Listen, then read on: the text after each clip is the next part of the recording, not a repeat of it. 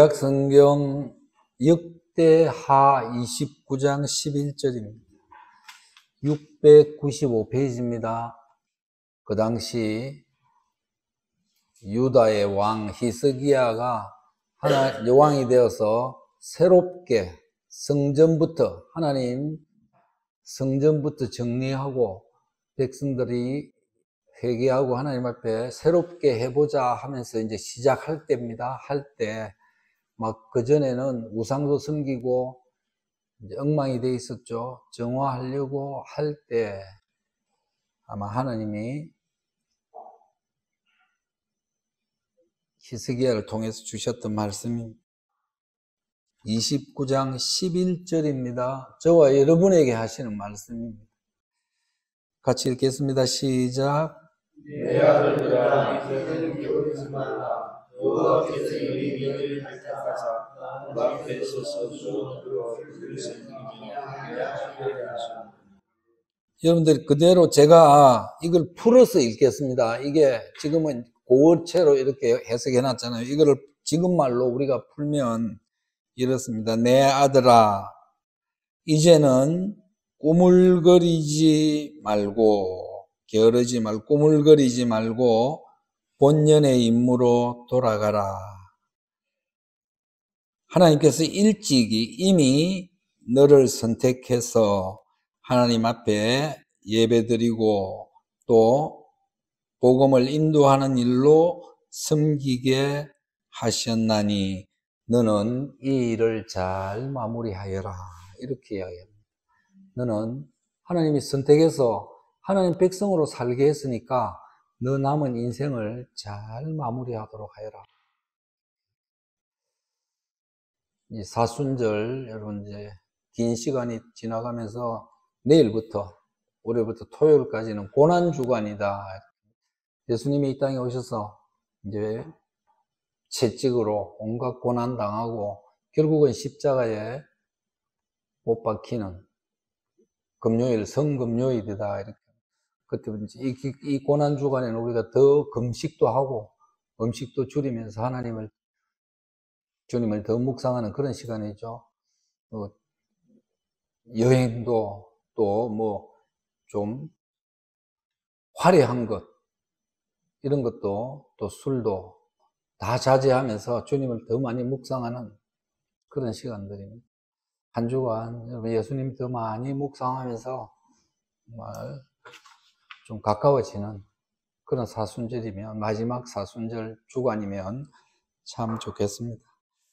사람이 누구나 다 귀하잖아요. 사람은 그 사람이 못 배웠건 가난하건 못생겼건 잘생겼건 사람은 다 똑같습니다.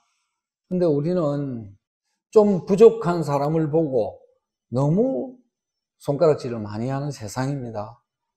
뭐 상대방을 좀 격려하고 위해주고 조금 안아주고 이런 게 없고 그저 그냥 못질 짓밟아서 뭐 그냥 그런 세상이 점점 되어가는 것 같습니다. 사람이 참 존귀합니다. 내가 존귀하면 내가 귀하다고 생각하면 상대방도 귀하죠. 귀합니다. 근데 나는 귀하고 상대방은 안 귀하고 이렇게 하면 나도 안 귀한 겁니다. 내가 나를 귀하게 여기는 사람은 상대방도 귀하게 여깁니다. 예수님이 그렇게 하신 겁니다. 그렇게 하라고 말씀하신 겁니다. 그렇게 사신 겁니다. 근데 우리가 예수 믿는다고 하면서 남 다 욕할 거 욕하고 미워하고 내치고 그렇게 하면 니나 교회 다니는 난 교회 안 다닌다. 그러죠. 안 그러겠습니까? 뭐 지만 잘났고 뭐 지만 교회 다니고 지만 예수 믿고 지만 천당 가고 니나 가라 나는 그런 천당 안 간다 이래 돼 버리는 겁니다 그러니까 늘 겸손하게 상대방을 존중하는 사람이에요 사람을 귀하게 여겨야 됩니다. 왜냐하면 하나님이 나를 귀하게 여겨서 십자가 죽기까지 하나님 자녀로 삼아 주셨는데 비록 교회를 다니고 있지 않지만 비록 아직은 내가 보기에는 저 사람이 부족하고 엉망이지만 언젠가 하나님이 나를 통해서든 누구를 통해서 하나님의 자녀가 되게 하셔서 저 사람도 하나님을 위해서 살게 하실 것이다 하는 마음이 있다면 그분을 존귀하게 여겨줘야 되는 거예요. 그래서 내 입에서, 내 생각에서 남을 낮게 보거나 남에게 뭐 싫은 소리 한다 이런 건 일절이 있어서는 안 됩니다. 그건 우리가 예수님을 믿는다 하는 거에서 잘못되어 있는 겁니다. 그건 잘못 믿고 있다는 거예요. 나를 위해서는 십자가 죽기까지 용서하셨는데 나는 남을 용서 못한다? 난 남에 대해서 험담하고 손가락질한다? 그건 예수 안, 믿, 안 믿는 거하고 똑같은 겁니다. 그래서 우리 가족들만이라도 어디 가면 아, 저 사람 참 말하는 게 참 따뜻하다. 보면 싫어할 만도 한데도 저 사람은 그런 소리 안 한다. 위로하고 입에서 나오는 말마다 다 참 아름답다. 참 좋다. 듣기 좋다. 이렇게 돼야 되는 겁니다. 예수 믿는다는 게 뭐 내가 돈이 많아서 뭐 교회 헌금 많이 하고 남 많이 도우고 여러분 그런 사람이 오히려 나중에 되면 더 엉망되는 사람들도 있습니다. 내 마음이 정화되어서 주님을 닮아가는 사람, 주님이 내 안에 계셔서 살아가는 사람이 되어야 된다. 제가 여러분 살면서 어려울 때 있잖아요. 사람은 누구나 다 힘들 때 있죠. 그러니까 하나님이 두려워하지 마라, 걱정하지 마라 하죠. 걱정 없으면 두려워 안 하면 뭐하러 성경에 365번이나 매일매일 걱정하지 마라 하겠습니까? 그 저도 문제가 있고 또 엉뚱한 일에 뭐 운동에 빠진다든지 제 같은 경우에 말입니다. 그러면 또 하루에 일과가 막 나도 모르게 막 바쁜 일이 있어서 막 그래 저거 빨리 해야 되는데 저걸 내가 빨리 이루어야 되는데 이런 일이 있다든지 아니면 돈 문제가 아 이 돈이 빨리 생겨야 되는데 이 돈을 만들어서 내가 뭘 해야 되는데 안 그러면 이런 돈이 있어야 되는데 막 이럴 때가 있습니다. 그 점점 하나님을 향한 생각보다 내 일에 막 몰두하고 또 그게 안 되면 어떻게 됩니까? 그냥 풀이 죽고 낙심하고 걱정하고 이게 우리 인간이죠. 오늘 지금 그, 그 상황을 두고 우리 이역대 하가 이야기하는 겁니다. 하나님이 이야기하는 겁니다. 제발 좀 꾸물거리지 마라, 아들아. 그죠? 이 아들들아, 이스라엘 백성들 보고 그러죠. 아들아, 이제는 좀 그런 거 가지고 힘들다, 어렵다, 돈 문제다, 거기에 집중해서 내가 세상 일에 그 좀 그렇게 꾸물꾸물거리지 마라. 그렇게. 게으르지 마라. 본연의 임무로 돌아. 너 하나님 자녀잖아. 십자가에 선택받은, 십자가 피로 구원받은 하나님 자녀니까 하나님 앞에 가서 기도하고 하나님을 바라보는 사람이 되거라. 그러면서 그것 때문에 너는 선택받은 거다. 하나님 자녀가 됐으니까 이 일을 잘 마무리해라. 인생을 잘 마무리해라. 이걸 잊지 말고 살아야 된다. 이렇게 지금 이야기합니다. 여러분, 제가 아까 그랬습니다. 좀 힘들고 어렵고 다른데 푹 빠져가 이걸 이루어야 된다. 이럴 때 한 번씩 돌아보고 생각하는 말씀이 이겁니다. 아, 이게 아니지. 내가 지금 무슨 일을 하고 있지? 내가 뭐 때문에 걱정하고 있지? 하나님이 십자가까지 허용하면서 나를 선택하셔서 그런데 내가 이 일에 빠져 있다고 이거 안 된다고 막 이게 매달려 있다고 이걸 못 놓는다고 그 본연의 임무로 돌아가서 마무리를 잘 해라 하는 게 뭔지를 늘 생각하는 겁니다. 제가 살면서 목사가 아니고 인간으로 한 예수의 아들로 살면서 하나님의 아들로 살면서 내가 어떤 생각을 하고 그 인생의 마무리를 어떻게 하려고 하는지 본연을 잊어버릴 때 늘 생각합니다. 그렇지. 또 내가 엉뚱한 일에 빠지려고 하구나, 빠져 있구나. 꾸물거리지 마라. 넌 하나님 자녀야. 십자가로 선택한 자녀야. 본연의 임무로 돌아가서 마무리를 잘 해야 돼. 늘 생각하는 겁니다. 그러니까 말씀을 늘 이 말씀은 제가 마음속에 있으니까 어떤 문제가 조금 흐트러지고 하면 내 임무가 뭐지? 이게 아니지. 이렇게 돌아올 수 있더라는 겁니다. 그러니까 여러분도 다 있습니다. 하나님 나와 함께 하시지. 막 걱정되고 힘들 때, 어, 그래. 하나님이 영원히 나와 함께 하시는 임마누엘 하나님이 계시지. 그렇지. 그런데 내가 왜 그 말씀을 잊어버리고 있었지? 왜 내가 그걸 놓치고 이렇게 걱정하지? 이렇게 되어야 된다. 이 말입니다. 이게 우리가 말씀을 가지고 있는 거고, 말씀을 봐야 되는 이유고, 또 그 말씀 때문에 회복하거나 일어서거나 이길 수 있는 힘이 되기 때문에 말씀을 늘 봐야 됩니다. 근데 목사님, 왜 내가 기도하고 말씀 봐도 왜 하나님하고 멀리 있는 것 같고 하나님 말씀이 기억 잘 안 나고 왜 나는 하나님이 안 도와주시는 것처럼 그렇게 생각 들죠? 왜 매일 성경 보고 기도는 하기는 하는데 왜 이상 하나님의 도움이 없는 것 같고 뭔가 느껴지지 않는 것 같고 이런 사람이 많습니다. 그러니까 제가 그럴 때는 이렇게 그렇게 이야기하죠. 축구 선수, 유도 선수, 배드민턴, 탁구, 우리 올림픽이나 왜 월드컵 축구하면 우리 다 한 번씩 보잖아요. 우리나라가 축구하면 보면 그러면 그 중에 잘 차는 사람이 어느 날, 어, 저거 축구 좀 하네? 그래, 너 축구 이제 잘하니까 축구 해봐라. 이래서 조금 하니까 뭐 적당히 연습하고 적당히 훈련하고 적당히 코치를 받아서 그 사람이 신동이 된다. 그 사람이 세계 제일 뭐잘 찬다는 메시가 되고 호날두가 된다. 여러분 천만의 말씀입니다. 그 사람이 유도 금메달 딴다. 배드민턴 세계 재패를 한다. 탁구를 신동이 된다. 여러분 어떻게 해야 됩니까? 밥만 먹으면 그 일을 하는 겁니다. 밥만 먹으면 훈련하는 겁니다. 밥만 머릿속에 그냥 매일 축구공이 왔다가 탁구공이 왔다 갔다 하고 배드민턴이 어떻게 어떻게 해야 내가 된다 생각하고 유도하는 사람은 어떻게 내가 매치기를 하고 어떻게 내가 어? 이런 것만 밥만 먹으면 훈련하고 생각하고 훈련하고 생각하고 지도받고 지도받고 이렇게 되는 겁니다. 여러분 그 사람이 그런 사람이 얼마나 많겠습니까? 그 중에 정말 가장 열심히 하는 사람 그죠? 최고가 되겠죠. 성경 말씀도 마찬가지입니다. 기도도 마찬가지입니다. 하나님 앞에 내가 성경 말씀을 읽고 기도할 때는 내 열정, 내 모든 것들이 다 하나님, 나는 하나님 만나야 됩니다. 하나님 말씀 들어야 됩니다. 하나님 오늘 무슨 말씀 하시는지 내가 분명히 알아야 됩니다. 하는 열정이 내 안에 있어야 되는 겁니다. 우리는 뭐 성경 이거 빨리 읽어야 되는데, 한, 이거 일독하기로 오늘 1년에 약속했는데, 이거 빨리 막, 그냥 막, 뭐 일독을 위해서 성경을 읽는 겁니다. 하나님이 나에게 뭐라 그러는지, 이게 무슨 말인지도 모르고 그냥 일독만 하려고 막, 그런 분들이 많다. 목표를 세워놓고 오늘 다섯 장, 세 장, 이러면 그건 아무 상관없습니다. 내가 오늘 하나님 앞에 나아가는데 하나님 오늘 나에게 뭐라고 그러는지 그러면 내가 이 말씀을 받아서 어떻게 적용해야 되는지 이 간절함이 열정이 같이 있어야 되는 겁니다. 그, 그렇다고 그게 금방 훌륭한 선수가 됩니까? 쌓이고 쌓이고 쌓이다 보면 이 간절함과 정말 뜨거운 열정이 있으면 그 사람은 반드시 하나님 만납니다. 말씀 속에서 만납니다. 체험 속에서 반드시, 어, 그 말씀이 이루어지네. 어, 그 말씀이 진짜 이게 맞네. 반드시 하나님을 만나게 된다. 이 말이에요. 우리에게 부족한 것은 간절함이 약하다. 이 말이죠.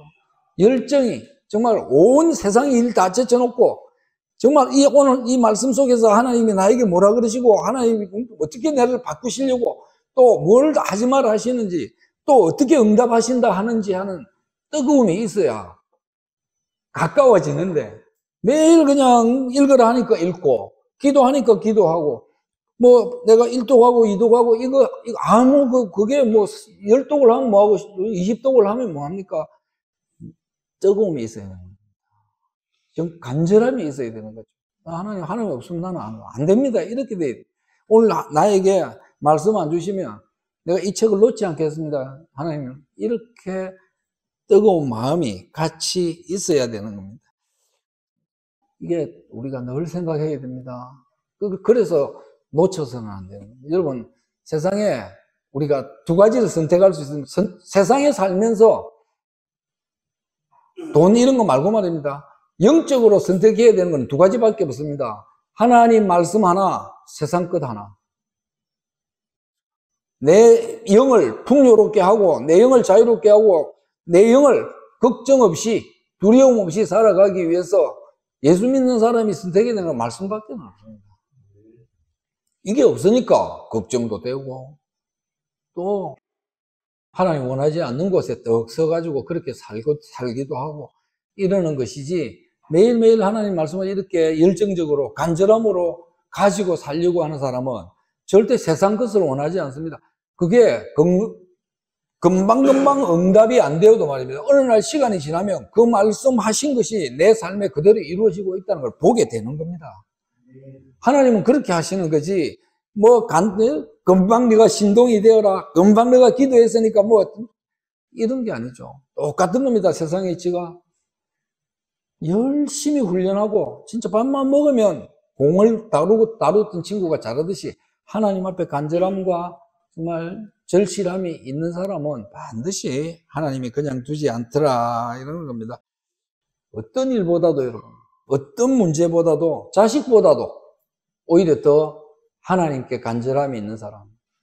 밥만 먹으면 하나님 찾는 사람이 걱정, 하나님을 위해서 내가 뭘 해야지, 하나님 어떻게 해야 됩니까? 이러는 사람이 하나님은 반드시 그냥 두지 않으시더라. 성경은 다 그런 이야기입니다. 성경은 다 그런 사람들의 이야기였다. 온 마음을 담고 여러분, 간절함과 뜨거움으로 그렇게 살면 좋겠습니다. 이제 사순절이 끝나는 다음 주, 부활절입니다. 우리 기독교의 가장 큰 행사죠. 예수님 죽음에서 부활하시면서 영원한 생명을 주시는 다음 주는 전 세계가 이 부활절을 기념하는 그런 주간입니다. 여러분, 사순절 기간 동안 우리가 요 토요일까지 고난 주간 동안 많이 기도하면서 부활절, 부활절 우리가 예배 드릴 때는 정말 우리 마음이 하나님으로 가득 차서 그저 그냥 하나님 때문에 괜찮습니다. 고맙습니다. 하나님 정말 영원한 생명을 주신 그 주님을 찬양합니다. 이렇게 우리가 예배 드릴 수 있으면 참 좋겠습니다. 이 간절함과 뜨거움이 예, 열정이 함께 있는 그런 시간들 우리가 이번 주간에 만들어내면 참 좋겠습니다. 여러분 예수 하나 말이지 병을 탁 팔이 아팠는데 뭐 허리가 아팠는데 탁 고쳐졌다 아니면 내가 기도했는데 하나님이 응답해 주셔서 우리 자식이 잘 되고 뭐 잘 됐다고 막 간증하는 사람들 많습니다. 간증 뭐 집회 이런 거 들어보면 근데 그런 사람은 시간 지나면 변할 수가 있습니다. 또 뭐 기도했는데 하나님이 안 들어주시고 뭐 또 체험 찾아다니는 사람은 어느 날 되면 어, 저 사람 왜 저러지? 옛날에 뭐 병 고침도 받고 뭐 자식도 잘 됐다는데 오늘 지금 왜 저러지? 이럴 수 있습니다. 근데 매일매일 하나님 말씀을 정말 간절함과 열정적으로 찾는 사람은 절대 안 변합니다. 그 사람은 변할 수가 없습니다. 왜? 하나님 말씀을 가지고 사는 사람은 양식을, 영의 양식을 매일 먹고 사니까 변할 수가 없죠. 그게 없으면 배고프니까. 그게 없으면 안 되니까. 그 사람은 안 변하는 겁니다. 근데 자꾸 뭔가 문제를 가지고 해결하려고 하나님 앞에 나가는 사람은 변할 수가 없어요. 그 문제 해결 안 되면 변하더라는 겁니다. 그래서 사순절 기간에 우리가 많이 하나님을 찾는 그런 시간이 되면 참 좋겠습니다. 포기하면 안 됩니다. 아까 그랬습니다. 세계 최고는 밥만 먹으면 그것만 하면서 포기를 안 한 거죠. 우리는 중간쯤 하다가 포기한 사람이 너무 많습니다. 성경 1독 해야지, 아니면 난 3독 해야지 이러고 우리 기독교인 중에 좀 뭔가 하나님 앞에 내가 좀 간절해야지, 일정적으로 나서가 나가야지, 말씀 들어야지 이러다가 한 한 달, 두 달 되면 뭐 그냥 없어지는 사람이 80%입니다. 10명 중에 2명 정도는 그래도 해야지, 그래도 하다가 연말쯤 다 돼가면 그것도 포기한 사람이 겨우 해내는 사람 한 사람밖에 그 뜨거움과 간절함이 그만큼 세상이 이 사단이 우리를 마음을 유혹해가지고 허물어뜨리는 겁니다. 끝까지 포기해, 포기해서는 안 됩니다. 기도하면서 간절함으로 하나님 앞에 난 듣겠다. 하나님과 함께 가는 사람이 되겠다 하는 그런 사람이 되어야 됩니다.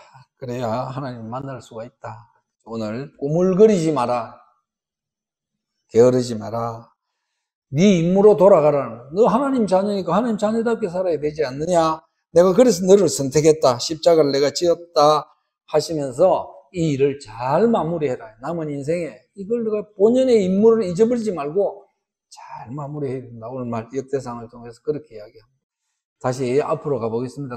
다윗의 마지막 말 이렇게 되어 있죠. 다윗이 하나님과 늘 정말 힘든 인생을 또 나중에는 하나님의 은혜를 받아서 왕이 되어서 정말 그 전무후무한 그런 업적을 세우면서 이제 말년에 와서 하는 말입니다.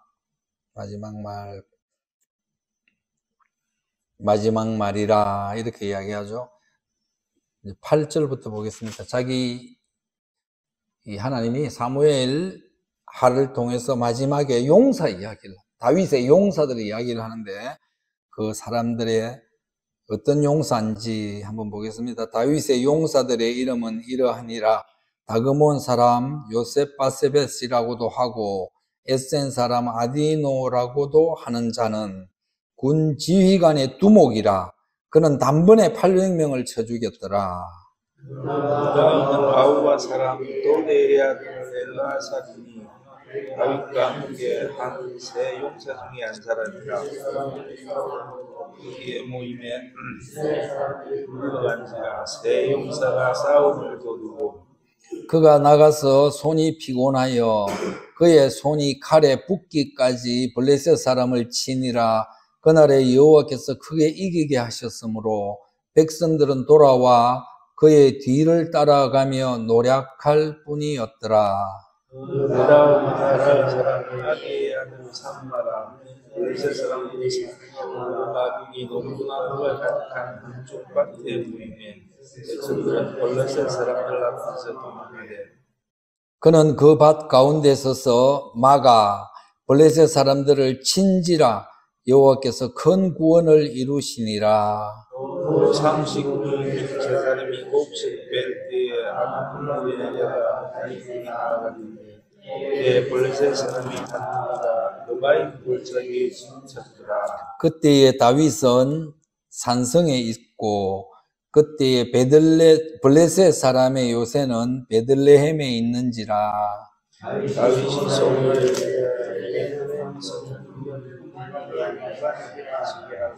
세 용사가 블레셋 사람의 진영을 돌파하고 지나가서 베들레헴 성문 곁 우물물을 길어 가지고 다윗에게 왔으나 다윗이 그 마시기를 급 기뻐하지 아니하고 그 물을 하나님께 부어 드리며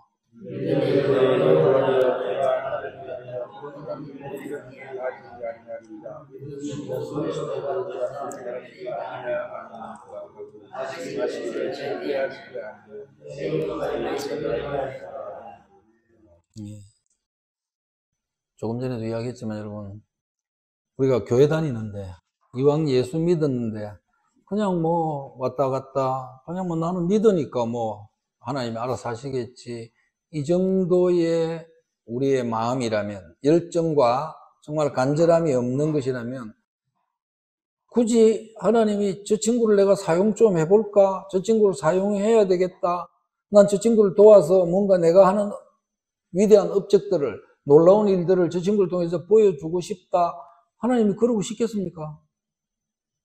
어, 아니, 우리가 입장을 바꿔 생각해도, 어, 저 친구는 그냥, 뭐, 그냥 왔다 갔다 하고 나를 뭐 대충 인정하는데 내가 저 친구를 통해서 뭘 해, 해보고 싶다 생각 안 하겠죠.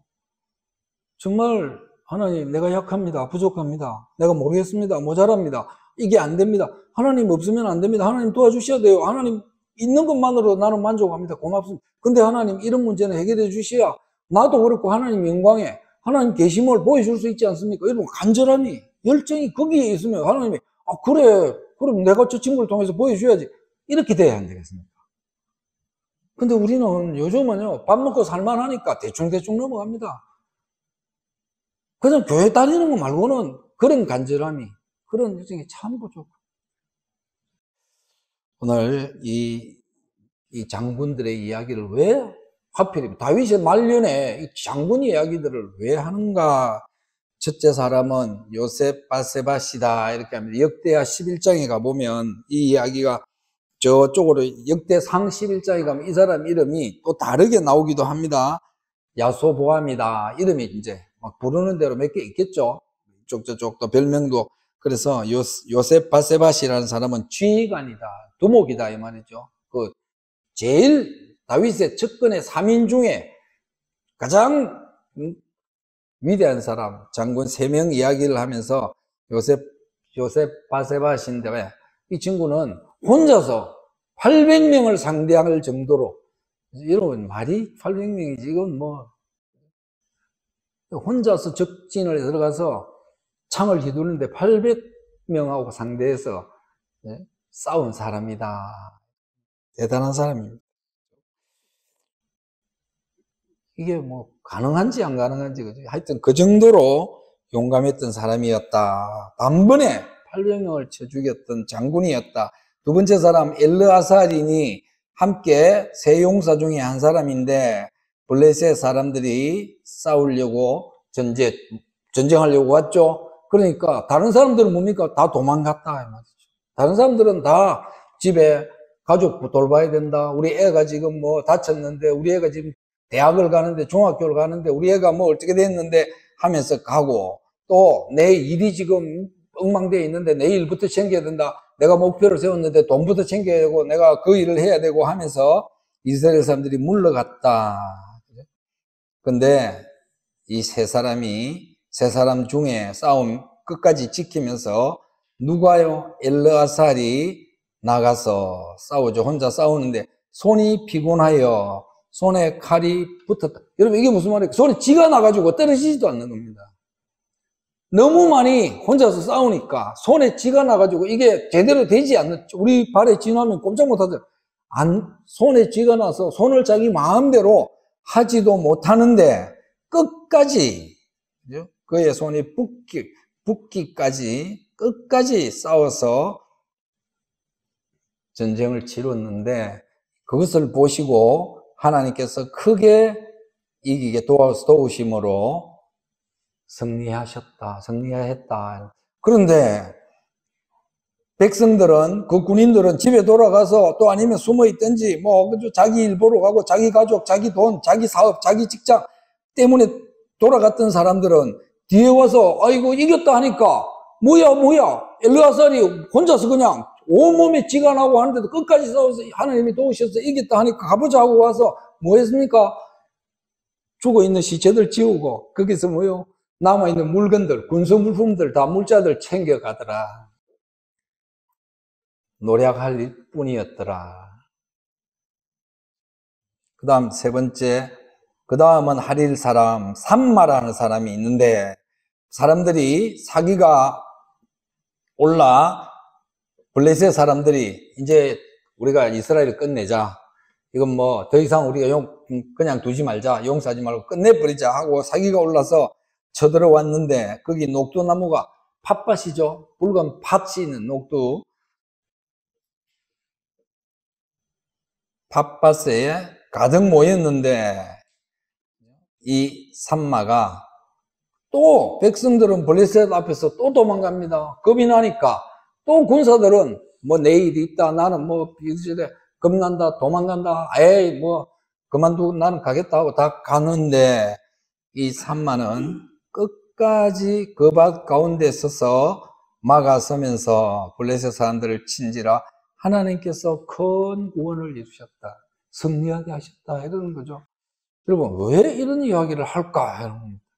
아니, 장군들이 다윗하고 있으면 있는 거지. 왜 지금 다 거의 다 혼자서 사람들은 다 피하는데 이 용감 무쌍한 이 용사들 세 명이 혼자 남아서 끝까지 다윗을 도와서 전쟁을 치러서 하나님의 도움을 받은 사람이더라 이렇게 이야기하고 있습니다.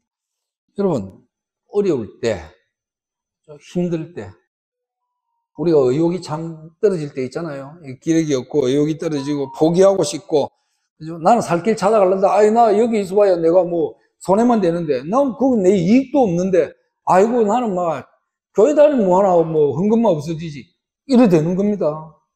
다들 그렇게 살아가는 사람이 많습니다. 어떤 무리 속에 있다가 그내 돈 들어가면 나 안 할란다 그러는 겁니다. 내가 그거 뭐 때문에 내가 수고해야 되고 헌신하고 땀 흘리고 내가 그 도와야 되나 이런 사람 많습니다. 우리 오늘 이스라엘 백성들처럼 자기 이권, 자기 계산, 또 자기 자식, 뭐 자기 가정 다 내 거 중심으로 생각해서 다 떠나는 사람이 있습니다.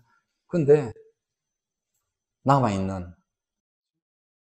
자기 것을 던지면서 버리면서 끝까지 자기 살 길이 아니라 백성들을 구하겠다고 다윗을 도와서 나라를 지키겠다고 하는 끝까지 남아서 싸우는 용사 목숨을 아까워하지 않는 사람 그런 사람 하나님이 도우시더라 이 말이죠 그런 정신으로 살아가는 사람을 하나님이 그냥 두지 않더라 지금 그 이야기를 합니다 그런 사람이 좀 있으면 좋겠다. 이 말씀이 그냥 있는 겁니까? 재미로 읽으라고 있는 겁니까? 여러분, 다 사람들은 세상 자기 일 때문에 자기 이익을 쫓아서, 자기 편함을 쫓아서, 자기 것만 찾아가는 시대에 뭔가 괴롭지만은, 어렵지만은, 힘들지만은 희생하면서 자기 목숨까지 던지는 이런 사람 어디 좀 없어? 지금 하나님은 그 이야기 합니다. 하나님의 일이라면은 좀 참고 가난한 사람 좀 도우고 좀 험한 일 자기가 몸소 가서 옷 벗어 던지고 하고 이런 사람 어디 좀 없나 지금 그 이야기야. 그런 사람 하나님이 크게 도왔다 이럽니다. 그런 사람 승리하게 했다. 그런 사람 하나님이 하나님의 능력을 부어주겠다. 이렇게 지금 그렇게 해요. 근데 요즘 세상은 이런 사람 힘들죠. 다 머릿속에 자기 계산만 하는. 성경이 그냥 있는 게 아닙니다. 13절이죠. 또, 이제 이게 끝나고 나서, 이제 아둘람 굴에 다윗이 내려갔죠. 아둘람 굴이 어딥니까, 여러분? 사울이 옛날에, 그죠? 괜히 백성들이 다윗이 왕 되면 좋겠다, 다윗이 왕 되면 좋겠다고 칭송을 하니까, 원래 왕이 사울인데, 저게 백성들한테 워낙 칭송을 받고, 저게 왕 되겠다 싶어서 죽이려고, 사울 왕이 특공대를 보내서 샅샅이 뒤집니다. 그때 도망갔던 데가 아둘람 굴에. 그리고 다윗이 좋아서 정말 저 공동체에 저 마을에 가서 나는 살아야 되겠다고 온 사람들이 400명 가량 군 남자만 그 400명 아녀자들 아이들 그래서 살았던 곳이 아둘람 굴입니다. 여기서 하나님 말씀을 가르치면서 다윗이 공동체를 이루고 살았던 곳이죠. 그러니까 자기가 지형을 잘 아니까 아둘람 굴에 진영을 치고 블레셋은 워낙 군세가 군사가 많고 무기가 장대하고 크니까 어디에 갔다 베들레헴에 진을 치는 겁니다. 이스라엘 한복판 중간에 그죠? 진을 치고 야 너희들 오늘 멸망시키러 왔다 완전 파괴하러 왔다 하면서 지금 다시 또 전쟁이 벌어지더라 아둘람 굴에 다윗은 내려갔고 블레셋 사람은 르바임 골짜기에 거기가 바로 베들레헴 쪽에 있다 그때 다윗은 산성에 있고 14절입니다 블레셋 사람의 요새는 진을 치고 그죠? 이제 본부를 어디다? 예, 베들레헴에 있는지라 15절 여러분이 읽습니다. 다윗이 소원하여 주되 예. 다윗이 소원하여 이르되 우리 앞에 성경은 그렇습니다. 저 역대 상에 가보면 똑같은 이야기가 있습니다. 거기는 다윗이 갈망하여 말하되 이렇게 되어 있습니다. 소원하여 소원한다 갈망한다 똑같은 말이죠. 갈망해서 목이 말라서 말하되 저 물을 누가 마시게 할고 아니 거기도 아둘람 굴에도 골짜기가 있고 산속이니까 동굴 속이고 산속이니까 물이 있죠 물이 없는 게 아닙니다 목이 말라서 전쟁하다가 힘들어서 목이 말라서 이 말이 아니고 다윗이 베들레헴을 보면서 거기 우물에 물 정말 시원한 물 마시고 싶다 이 말은 여러분 뭐 아둘람에 물이 없고 가물어 가지고 이런 말이 아닙니다 안 그렇게 했습니까 산속인데 오히려 물이 더 있죠 계곡물이 얼마나 근데 다윗이 왜 베들레헴이 다윗이 고향입니다. 다윗은 베들레헴에서 태어난 거예요. 이세의 아들로. 그리고 청년 때 이미 거인 골리앗을 죽이고 전쟁에 나가서 용맹하게 승리하는 바람에 오히려 백성들이 초항을 해서 다윗이 왕 되는 게 좋다, 다윗이 왕 되는 게 좋다는 때문에 사울의 미움을 받아서 도망 다녔던 겁니다. 그게 10년이 넘었어요. 다윗은 10년 넘게 도망 다녔, 그것도 그냥 도망 다니는 게 아니고 특공대를 풀어가지고 잡으면 죽이는 목숨 걸고 도망 다니면서 거기 추종하는 사람들이 따르고 다윗을 따르고 해서 무리를 이루어서 나중에 왕이 됐는데 블레셋이란 거대한 군사들이 무기도 훨씬 상대가 안 되죠 이스라엘하고 다윗이 저 이름 있는 저 다윗이 오히려 정착하기 전에 제대로 나라 잡기 전에 우리가 끝내버리자 하고 지금 블레셋이 들어온 겁니다 거기다가 베들레헴에 다윗의 고향이 와 있는 겁니다. 그러니까 옛날에 숨어 있었던 이 아둘람에 가서 다윗이 자기 옛날 어릴 때 그 우물 저 베들레헴 내가 가고 싶다 이 말이죠. 저기 한번 정말 멀리 어릴 때부터 젊을 때부터 떠나서 어, 내가 안 가본 제가 저기 안 가본 제가 지금 십수년이 되는데 저 물 한번 마시고 싶다. 정말 내 고향 정말 한번 그립다 이 말이죠. 그 이야기를 다윗이 여러분 내 물 좀 떠오느라 병사 부하들한테 아 그거 유미 용감한 병사들 있잖아요 뭐 저희 가서 물 좀 떠와 이 이야기가 아닙니다 아 정말 그리운 고향이 내 눈앞에 있고 저희 어릴 때 먹던 저 시원한 물 정말 한번 한 모금 마시고 싶다. 그냥 중얼거렸겠죠. 그냥 넋두리로 그냥 햄말이겠죠. 아 그랬으면 참 좋겠는데 안 해도 된다 이 말이죠. 그거 없어도 할 수 없는 겁니다. 뭐 꼭 내가 가져야 되겠다 이 말이 아닙니다 누가 내게 마시게 할꼬 하면서 고향을 바라보면서 그냥 한번 읊어봤던 말입니다. 얼마나 고향이 그리웠을까 다윗이 그 생각을 할 수 있죠. 그러니까 16절에 이 넋두리입니다. 그냥 슬쩍 흘린 말, 중얼거린 말을 16절 읽어보겠습니다. 시작.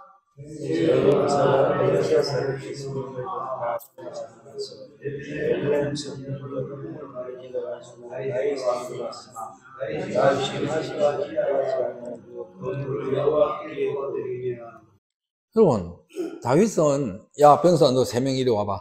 그, 저, 우물물 저내 마시고. 이게 아니죠. 그냥, 고향을 생각하면서, 정말, 엄마하고 아버지하고, 어릴 때, 형님들하고 있을 때, 그, 어릴 때 추억, 그리운 고향, 거기에 물, 그냥 넋두리로, 그냥 중얼거리는 말로 했는데, 워낙 다윗과 함께하는 이 공동체가 눈빛만 봐도, 서로 마음만 쳐다봐도, 마음을 읽고 뜻을 아는 이 세 살, 세 부하가 다윗의 그 마음을 알고는 바로 달려갔죠. 바로 뭐라 그럽니까? 16절에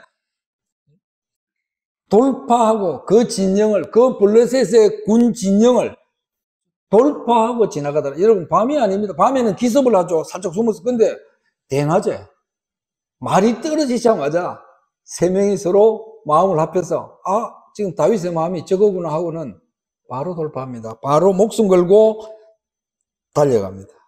돌, 적진을 향해서 돌진해서 쭉 갑니다. 여러분, 자, 여기서 돌진해서 가져왔다까지 우리 16절에 있죠. 그런데 세 명이 옵니다.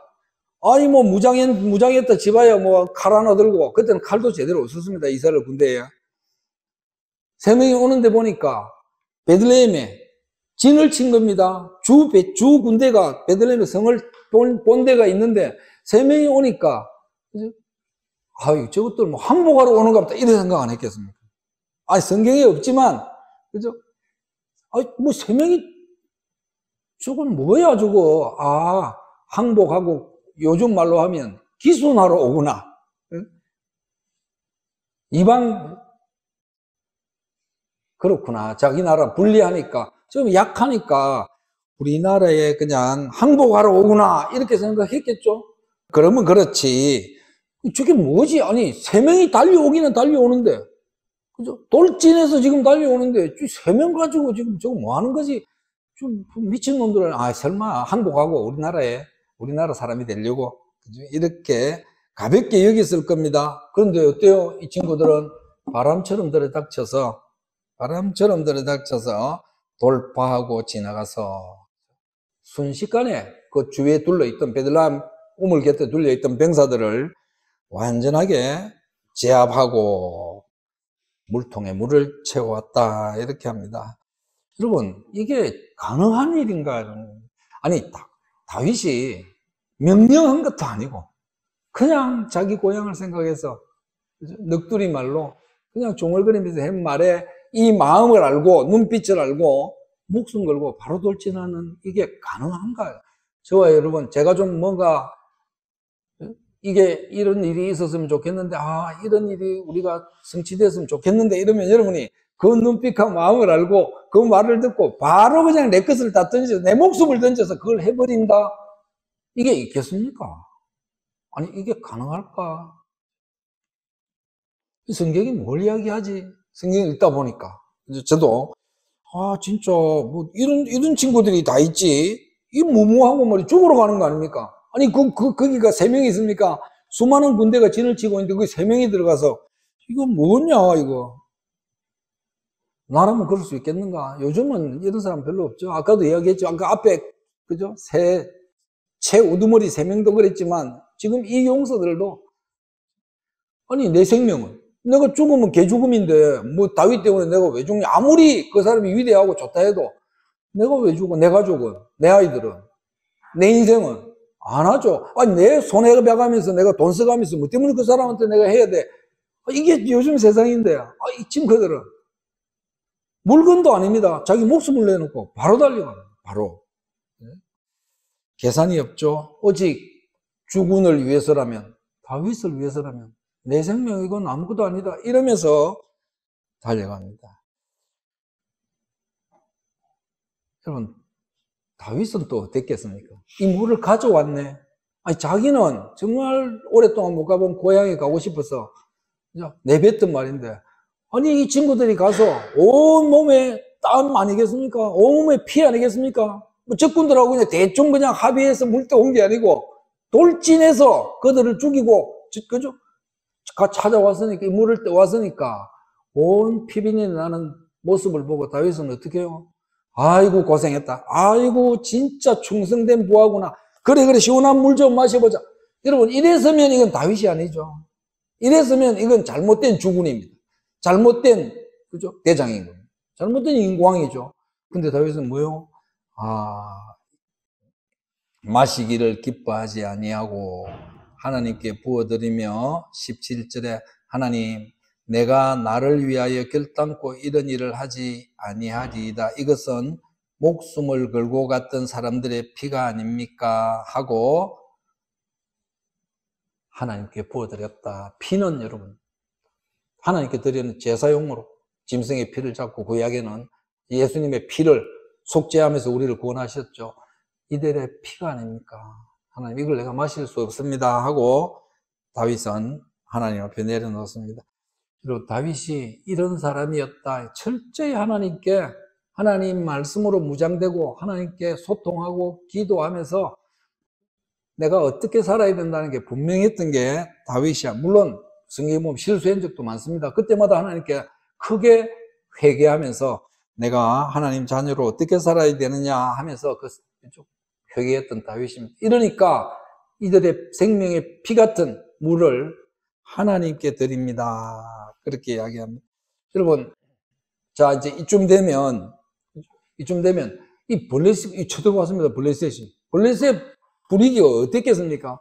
아니, 예루살렘이라고 도시에 진을 치고 산 꼭대기에 숨어 있는 이스라엘을 보면서 이 자식들 너희들 좋아 거기 있지 우리가 곧 올라갈 거야 너희들 그거 해봐야 하찮은 뭐 부대 그거 이러고 있었습니다 근데 저거 뭐지 아니 세 명이 30명도 아니고 300명도 아니고 세 명이 돌파역에 아 그래 항복하러 오겠지 기손하고는 이랬는데 갑자기 손살같이 적군을 추적이고 물을 떠가니까 아니 이스라엘의 저런 다윗의 저런 군사 세 명이면 어 이게 이 거대한 진을 치고 들어가는데 돌파하고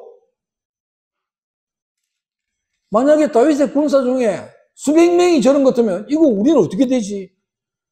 야 이거 끝난 거 아니야? 이건 해보나 마나 아니냐? 사기가 완전히 떨어지겠죠. 그쪽 진은 완전히 사기가 떨어지는 겁니다. 아니 그리고 이건 또 뭐지? 아니 그렇게 돌파하고 적군까지 쳐 죽이면서 했으면 대장을 죽이든지 무 기를 가져가든지 군사 물자를 뭐 쌀이나 뭐나 불량미를 가져가 뭐 해야 되는데 아니 고작 가져간다는 게 물 한 통 가져간다고 이건 뭐지 도대체? 아, 저런 귀신 같은 놈들이 있어. 아니 저건 뭐 이건 뭘 원하는 거지? 아니 저런 용사들이 저기 이스라엘에 많단 말이야. 겁을 먹었겠죠. 그 얼마 그리고 이스라엘 쪽에서는 어떻게 했습니까? 보니까 다 아까 집에 가고 자기 마누라 생각하고 자식 생각하고 언제 집에 가나 이 전쟁 어떻게 하면 피하나 내가 손해 안 보고 내가 왜 여기 있어야 되나 내가 왜 예수님 믿어야 되나 이러고 있는데 지금 그죠? 세 명이 그 적진에 가서 목숨 걸고 가서 물을 떠오니까 보고 있던 이스라엘 사람들이 뭐요? 야 이거 진짜 하나님이 함께 하시네 정말로 저런 인간 승리할 수 있네 우리도 가자 정말 하나님이 저렇게 도와주신다면, 이기게 하신다면, 이건 전쟁, 우리 약하지만, 무기 별로 없지만, 가보자. 사기가 충전 안 하겠습니까? 본보기가 안 되겠느냐, 이 말이에요. 이스라엘 군대에서는, 군인들 앞에서는. 얼마나 큰 본보기, 본보기가 되었겠습니까? 근데, 지금은, 이렇게 본보기를 보여주는 사람이 없습니다. 그러다 보니까, 그런 일이 생기면, 아이고, 꼭 그런 일을 해야 되나? 뭐하러 그런 일 하나? 이런, 뭐 손해보면서 목숨 걸고 돈 써가면서 왜 그거 해야 되나? 그잘 보이면 뭐하는데, 네가 잘하면 뭐하는데, 너 봉사하면 뭐하는데, 이러고 있다, 이 말이야. 시대가. 남에게 감동을 주는 게 없는 겁니다. 남에게 위로하고 사기를 주고, 남이, 그래, 예수 믿는 건 저런 거야. 와, 저 사람 보니까 예수 믿어야 돼. 이런 게 없다. 지금 시대가. 난 절대 못 간다, 이러죠. 요즘은. 아니, 니나 가라. 나 그 목숨 걸고 돈 써가면서 왜 내 손해 보는 짓 안 하는데 이러고 있습니다. 하나님이 도우실 리가 없죠. 같이 교회 다니는데 여러분, 이 두 부류가 있다면 누굴 도우겠어요? 누굴 하나님이 찾으시겠느냐, 이 말이죠. 그렇죠? 여러분, 수년간, 수십 년간, 뭐 수십 년은 아니지만 12여 년간 정확하게 다윗이 떠돌아다녔다는 것은 몇 년이다 안 나와 있었는데 10년은 넘었다. 이런 거. 10년을 넘게 떠돌아다녔던 다윗. 그때마다 다윗은요, 성경에 보면 하나님만 의뢰했습니다. 하나님께 묻고 잘못된 것은 회개하고 또 내가 하나님 어떻게 해야 됩니까? 하고 기도하면서 하나님 하라는 대로 그대로 실행했던 다윗입니다. 이것을 보았던 이 부하들이 말입니다. 그 공동체를 이루면서 저 주군은 우리 군 대장은 진짜 하나님의 사람이야. 저 사람이 위험하면, 저 사람이 필요하면 내 목숨 좀은 언제든지 드릴 수 있다 하는 모습을 다윗은 보여준 거고 이 부하들은 그죠? 그래 이런 공동체가 진짜 공동체야. 이게 하나님 나라야. 이게 하나님 믿는 백성이고 이 하나님 나라를 위해서는 이 공동체를 위해서는 내 목숨쯤이야. 희생해도 아깝지 않다. 이렇게 만들어지더라 이 말입니다. 이게 다윗의 나라입니다. 이게 하나님 나라였습니다. 오늘날 우리 예수 믿는 교회고 예수 믿는 사람들이 세상에 가서 보여줘야 되는 복음 가진 모습이 이렇다 이 말입니다. 안, 안 되죠 이게. 여러분 그 부하들은 다윗에게 이렇게 안 했겠어요. 그 물을 떠와서 정말 외롭죠. 힘들었죠. 얼마나 떠돌아다니면서 이 많은 무리들을 끌고 하나님 백성으로 만들려고 당신이 앞장서서 희생했는데 우리가 다 압니다. 물 마시고 힘내십시오. 때로는 실망하고 때로는 외롭고 때로는 지치고 하기 싫을 때 있는 거 우리 다 압니다. 그러나 죽은 누군가는 있어야 우리도 힘이 되고 이걸 하나님 기뻐하시는 나라를 만들 수 있지 않겠습니까? 하면서 외로움하시라 힘내십시오. 목숨 걸고 이렇게 이야기 안 했겠습니까? 이 사람 갔다 온 사람들이. 여러분, 오늘날, 아까 제가 그래서 이 시대가 저와 여러분의 마음이, 오늘날 교회 다니는 사람들의 마음이 이, 이새 용사처럼 이런 사람, 우리가 예수님께 어떻게 고백해야 됩니까? 주님, 실망하지 마세요. 그 덩그랗게 교회에 예배당 크게 지어놓고, 뭐 수천억씩, 아니 수천억은 수천만 원씩, 수천억, 수십억씩 들어와가지고, 뭐 그 건물만 자꾸 올라간다고 실망하지 마십시오. 주님을 위해서 어떤 자리든지 내가 비록 못 배우고 가난하고 비록 힘이 약하지만 주님 원하시면 언제든지 내가 앞장서고 오늘 이 세용수처럼 하나님 나라를 위해서 내가 희생하고 봉사하고 섬기는 일에 앞장서겠습니다. 주님 힘내십시오. 이렇게 우리가 하나님을 기뻐하게 이런 정신으로 이런 마음으로 우리가 나아갈 수 있는 사람 같은 걸 얼마나 좋겠습니까? 하나님이 오늘 이 세 용사를 앞에 세 용사 뒤에 세 용사가 그죠? 보여주는 게 바로 하나님이 나는 이런 사람 좀 찾고 싶다 이거 아니겠습니까? 이런 사람 어디 좀 없나? 바로 저와 여러분에게 그런 이야기를 하시는 것이 아닐까? 하나님 참 손해 보기 싫습니다. 내가 남들에게 싫은 소리 하기도 싫고 듣기도 싫습니다. 우리 이럽니다. 그러나 하나님 오늘부터는 좀 바꾸겠습니다. 이렇게 돼야 됩니다. 손해 보더라도 뭐 손가락질 받더라도 험한 소리 듣더라도 정말 아픈 사람, 가난한 사람, 힘든 사람, 모자라는 사람, 부족한 사람들 내가 가서 하나님 사랑 전하면서 내 거 없어져도 좀 부족해져도 하나님 그것으로 기쁨을 삼겠습니다. 그래 해도 주님 나를 위해서 십자가 못 박은 것만큼 제가 하겠습니까? 목숨을 원하면 내 목숨까지도 내가 드리는 오늘 이 세 용사처럼 살 수 있게 도와주십시오. 이렇게 돼야 안 되겠습니까? 참 멋지겠죠, 이런 사람. 이렇게 살아가는 그런 사람이 되면 참 좋겠습니다. 세상은 여러분, 우리가 오늘 이런 이야기 듣고 세상에 나가면요, 적당히 좀 해라, 이럽니다. 야, 대충 해라, 적당히. 뭐 그런다고 누가 뭐, 어? 밥 먹여주냐, 이러고 있습니다. 그거 꼭 해야 되나? 그렇게까지 해야 되나? 이럽니다, 세상은. 그럴 필요 없다. 돈 안 되는 일은 할 필요가 없다. 이러고 있습니다. 손해되는 짓을 왜 하는데? 네가 뭐 때문에 그렇게 남을 위해서 그렇게 희생하고 힘들어 해야 되나? 상관없는 일, 그거 하려고 생각도 하지 마라. 이럽니다. 세상은. 여러분, 오늘 이 앞에 세 용사, 뒤에 세 용사, 정말 하나님을 위해서 하나님 나라를 위해서, 공동체를 위해서. 네. 자기 것을 아끼지 않았습니다. 이런 정신, 하나님 이런 마음 우리가 가질 수 있도록 이 사순절 고난 주간에 기도할 때 그런 힘을, 그런 영을 가지게 해 주옵소서 기도하는 저와 여러분 되기를 축원합니다. 하나님, 하나님 세상은 늘 적당히 하면 된다. 꼭 그렇게까지 해야 하나 할 필요 없다.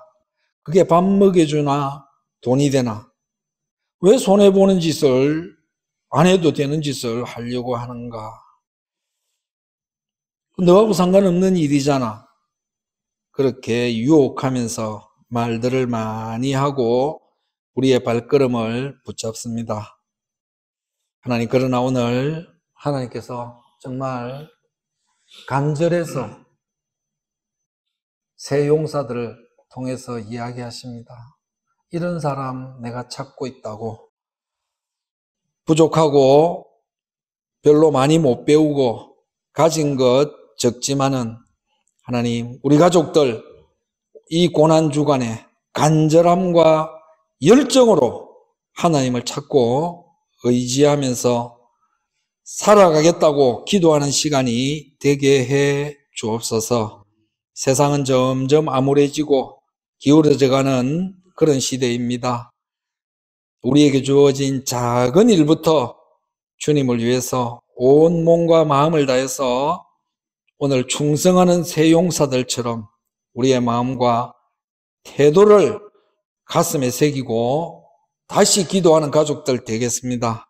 하나님 긍휼히 여겨주시고 도와주셔서 정말 하나님 한 분만으로 만족하고 하나님으로 인해서 지금까지 경험해보지 못했던 놀라운 능력과 체험들을 할 수 있는 가족들이 되게 하여 주옵소서 다윗에게 새 용사가 아니 든든한 공동체가 있었다면 부족하지만 작지만 볼품없지만 우리들 무쇠 공동체 가족들이 그런 용사가 되기를 기도합니다.